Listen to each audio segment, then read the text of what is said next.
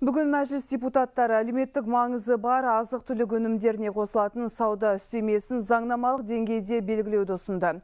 Оның мөлшері ең жоғары дегенде 10% мөлшерде болуы керек дейді олар.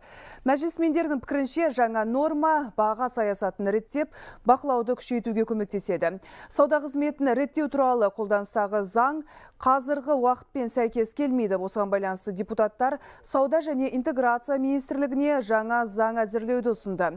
Құжатта бағаны реттеу тетіктері мен тұтыну тауарларына шекті сауда үстеме бағалары нақты анықталатын болады. Бұл әсіресе азық түлік, көмір, газ және дәрі дәрмектерге қатысты болмақ. Министерство национальной экономики Ұлттық экономика министрлігі мен монополияға қарсы комитет өткен айда әлеуметтік маңызы бар өнімдерді өндірушілерге тауардың өз бағасына қаншалықты сәйкес келетіндігі туралы есеп беруі жайында хабарлама таратты.